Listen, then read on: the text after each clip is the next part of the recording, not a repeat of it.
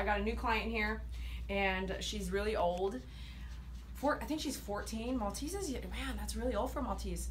Um, she came, she pet parents have owned her for about two months now, so she's a rescue. She's really mad because she has a skin condition that's having like spitting out this gunk. Bad. Like, and so hopefully once we get get it off, we're, I told her we can even do a la carte. Give give your clients a choice, so they don't have to do all the whole grooming every time. It's all matted in here, pretty bad. Um, and the pet doesn't have to be in here for very long. So I'm gonna get started, and we're gonna move pretty quickly. It's definitely unsafe. I don't want the 10 is the shortest, safest blade. Just get yourself a hole in here. Yeah, it's gonna be right at the skin, but in her situation, uh, she's indoor dog, and this is just one time, and then we'll start growing the hair out a little bit and start maybe using a four guard instead of just uh, getting this mats and everything off.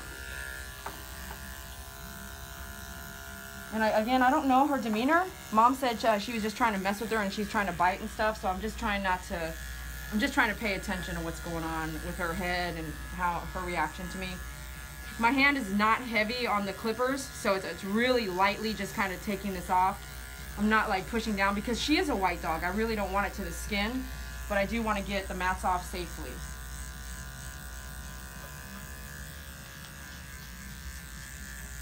And if you watch those other videos, there's a way you can hold your clippers. Like uh, some of you, I'm gonna do another video for a lady who had written uh, Jiri. Her last name is Jiri. She asked me about like holding her clippers.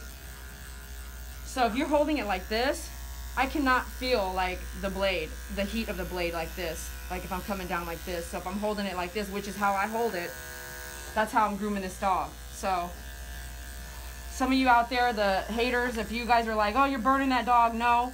I'm actually just using the very tip. There's no way I'm burning the dog ever.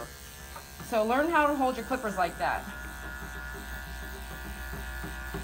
And if you're not sure, do it to yourself. Like freaking go like this. You can't I can't even feel any heat.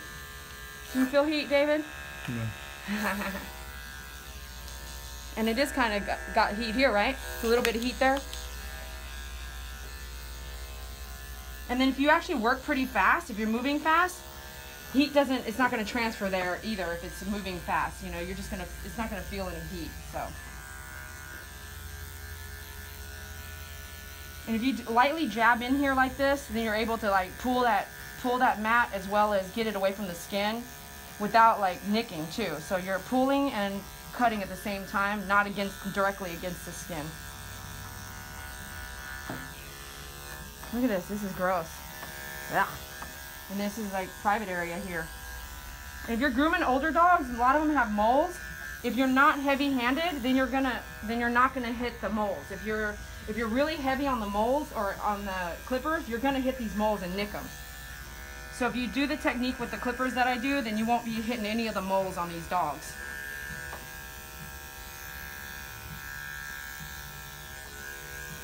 Some of you might not like the fact that we're shaving her, but unfortunately with her skin condition, this is the best alternative. And she has a special shampoo to use, you know, things like that that the mom is very, concerned about. So we want to get all this off, kind of start over. And I don't really want to groom her very often because of her age. So doing short means she doesn't have to come in very often. So sometimes you make a choice based off of health rather than looks or personal opinions. She's doing good so far, isn't she?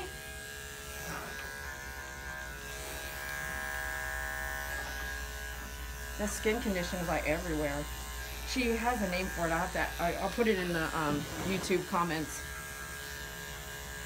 Again, uh, using your point, the point of your clippers, the blades, instead of like holding the whole blade to her skin. It's like not even touching her skin here. And the neck line was the worst part, she said, and it is, you can see.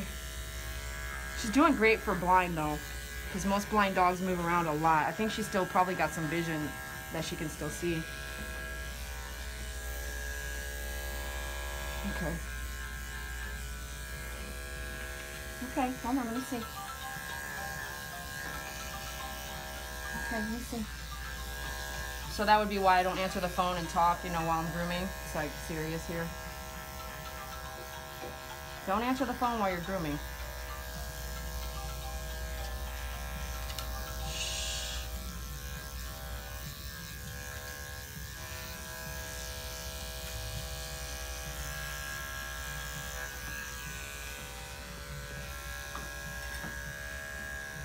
Okay, just kind of.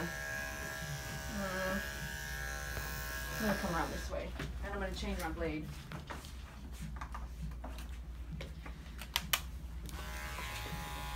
She's older. I'm not gonna use the DogUp stand here. I'm just gonna let her sit. And she's sitting so still, so it's, it's working out really well for her. But wait, I'm gonna see how loose this is. That's okay, but it's not um, the perfect situation for me because it does give her room to like walk around if she wants to walk around. But we're good so far. And again, I don't care how it looks really. I just want to get it off. And if it's not all perfect length, I'm okay with it this time. And we won't be blow drying her.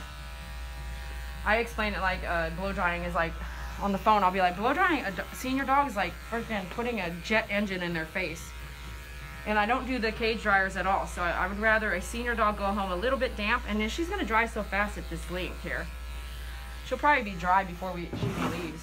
Pet parents are actually outside in the car waiting. Their option was to wait in the lobby or in the car. And she brought her best friend because it's her birthday. So they can chit chat in the car and I'll be done in about 40 minutes. So it's great for the dog. I don't really have to cage her or anything. So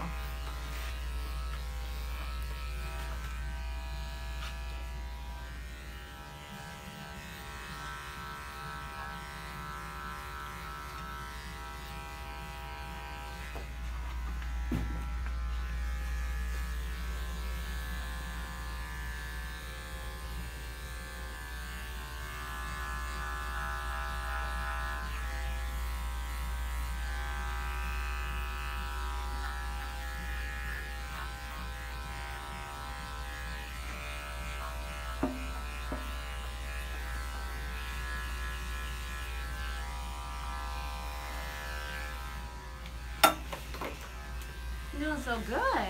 You're doing great. She's only had her for like two months. Someone's got to rescue the seniors, right? Okay, does that tickle a little bit? Okay, hold on. She's wanting to itch her chin here. Whoop, whoop, whoop. Don't go anywhere. I'm holding her jawbone so I can really get in here and get these mats out. And she's like wanting to itch. Maybe that's because that feels so good to get off of there. Look at this. This is gross. I'm so real about it, right? It's just gross. This is on you when you're breathing it in. We gotta clean this up, girl. And she's letting me. I can smell it. It smells funky. I don't know what it smells like.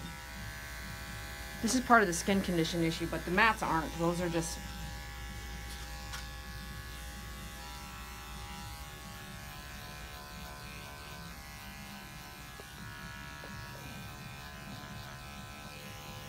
Holding her jaw there. Hold the jawbone when you're working like this, not the esophagus. Is that itchy? Is that itchy in there? Okay, let me see. You're doing so good. We're almost done.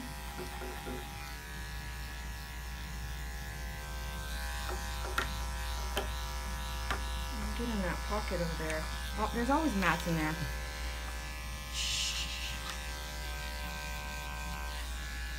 Today my right hand is just numb completely. I don't know, all night the, my whole arm was numb, my hand is numb, so my fingers are tingling right now.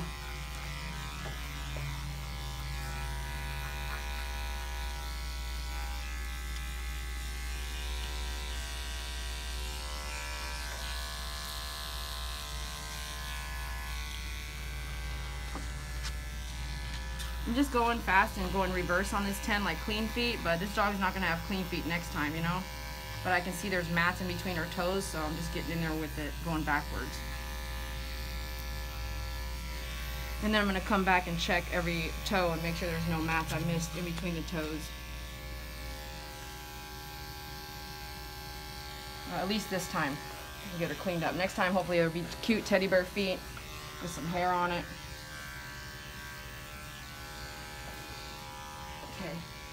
Trying to see if I can leave a little bit of head here. We're almost getting done.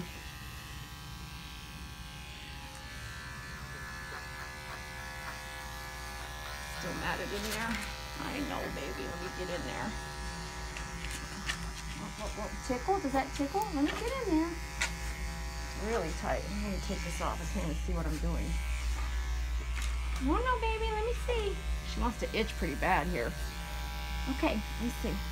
Lift your head, baby. Is that tickle in there or what? Okay, let me see.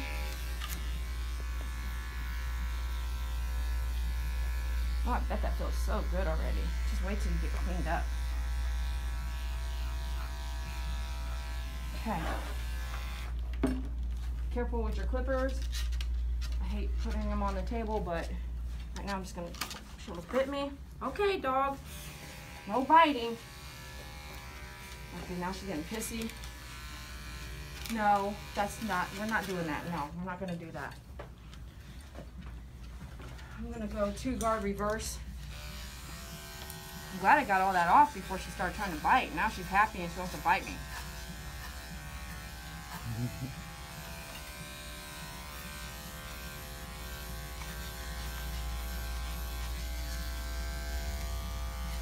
No, no.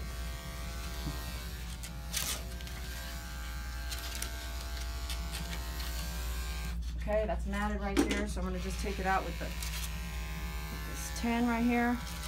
Yeah, okay, we're not having fun with this.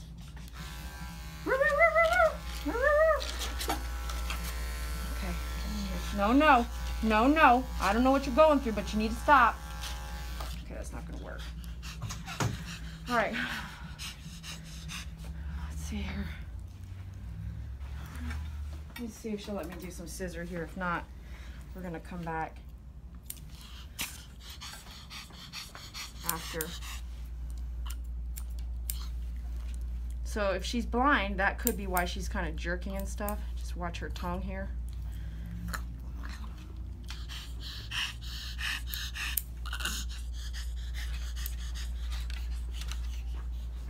And I'm not going to push it. I'm just going to get what I can, and then we're going to go to the bath here. Don't keep moving your head. Let me get some of this out. You're okay. You're okay. I know you want to bite me. Yes, I do. Okay, I know you want to bite.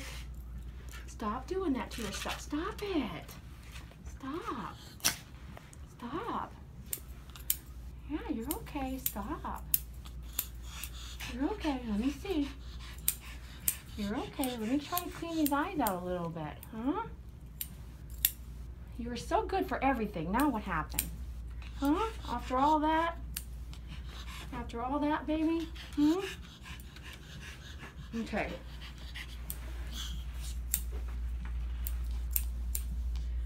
Really, I want to shave all that off, so me and David will probably do that. I'll use his assistance after. After the bath. Because it's got, okay, we're good. We'll be back. Okay, so we went to the bath. Um, while we were doing the, David helped me hold the head and we really got it cleaned up if you can see. And she's got a lot of drainage on her face, so I really, really cleaned all that up. I don't care about beauty right now. I care about that stuff coming out of her pores. But if I can get her to open her mouth, you can see she had been, um, her tongue was already nicked really bad somewhere. Hi. Well, maybe we'll try to capture it in a minute as I even her up. But once she opens her mouth, wow, we found out that her tongue has got this huge nick on it. From and David said, you know, true. That's probably why she's so scared. Is someone nicked her pretty bad already. So sometimes there's a reason. So now I'm just gonna, you know, I go ahead. And I'm not. I don't care about my blades in the sense of like she's a tiny bit damp, but I'm not gonna blow dry her. So I'm just evening up some of these flary ones uh, after the bath. Is that itchy? Is that itchy there? Just kind of even this up. Doesn't need to be perfect, but because she's still a little damp, you know, it's to change when she gets home. But some of these ones hanging around that I can see is a little uneven. Just take those down.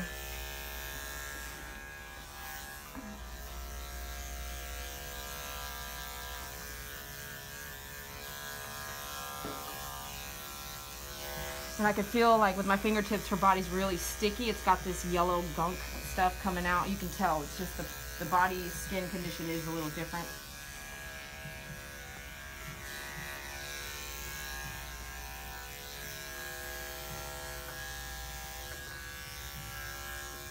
So I'm gonna recommend that mom comes in about every six weeks. Even if I don't do a full groom, I cut, do a full haircut. Just shave it all back down because I don't think the skin condition is to change. There, she's just to keep her comfortable until she passes away. So if it's to be consistently spewing out this kind of stuff, we should keep her short, you know. And I don't like recommend clothing for this kind of dog because there's a lot of uh, gunk coming out. So it's just holding onto that gunk inside of clothing. I'm not going to recommend like a shirt or anything. But I do want to say it might be dog food, you know, that what she's been eating, I do want to say it might be that. Or just the full-on condition she has, so. How you doing, baby? Boy, she was really trying to bite with her face, man. But David, after he got the hold, um, she chilled out. Like, big time. So the skin flaps on the ears don't swell. I did leave some hair on the, the ears. Otherwise, I would have shaved them down. And some of these moles, even though you didn't nick them, they're still gonna, they're kind of the external bloody moles. So you're gonna still see some seepage from those moles just because of the age of the pet.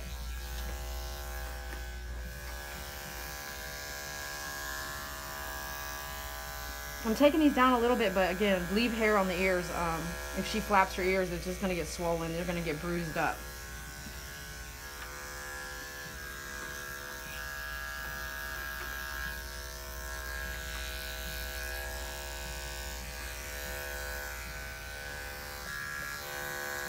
Can't believe she's not showing us her tongue.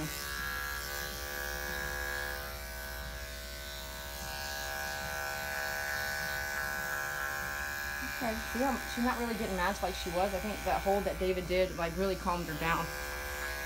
Okay, okay.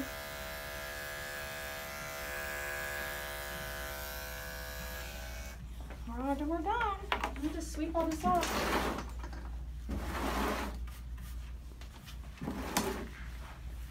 So I can really see if we got any flares we want to be concerned about.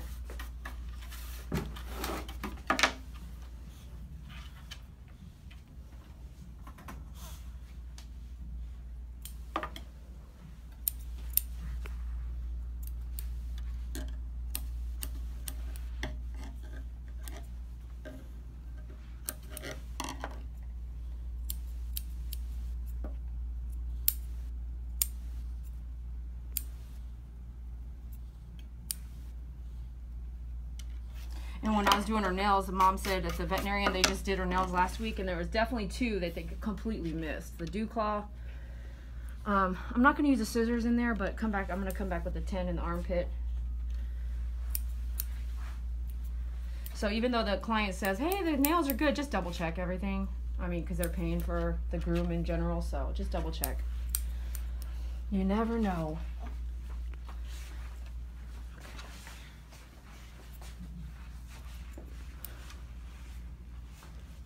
And if you don't want her to look down like I'm just kind of letting her look down, you can tighten up that noose. Okay, baby, let me see. There you go. I'll tighten it up here in a minute. Let me get uh, my 10 blade and do that armpit.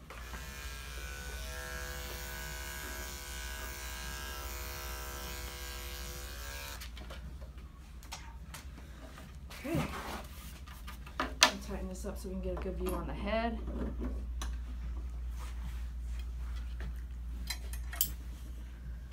Put it right like under the jaw area here. She's doing great for being um, blind, seriously.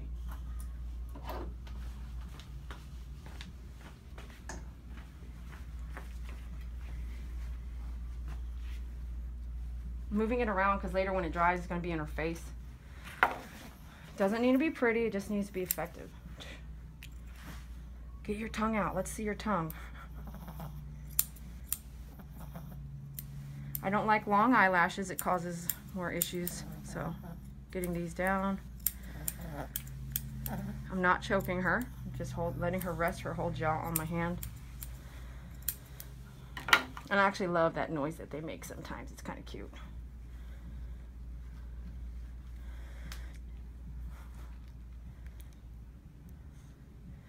It's like, show us your tongue.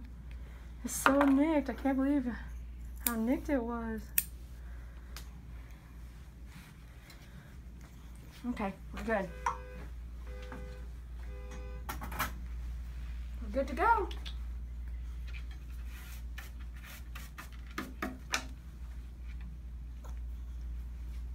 We're gonna do some cologne. This is sugar cookie. And we're good. Thanks for watching Dede Croy with my favorite groomer.